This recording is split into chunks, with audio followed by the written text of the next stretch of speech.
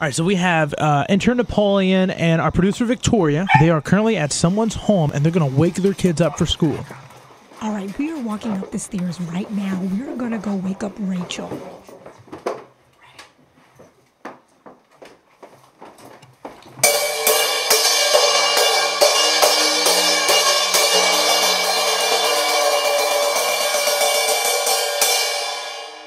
Good morning, Rachel. You ready for school?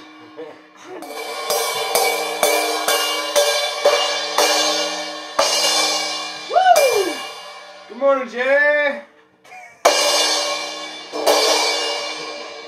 Good morning, Jay. What's up, dude? You're awake? I guess.